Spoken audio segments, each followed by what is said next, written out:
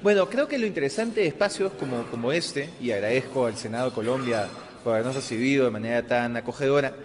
eh, la importancia de espacios como este es que permite compartir experiencias y no solo eh, ver, digamos, los estudios o eh, los ámbitos conceptuales, sino aterrizarlo a las diferentes coyunturas que tenemos en América Latina, en Colombia, en Perú, en Chile y en otros países de la región. Y ver que los retos que enfrentamos son muy similares y esto permite hacer una serie de sinergias para que esos problemas comunes tengan soluciones comunes.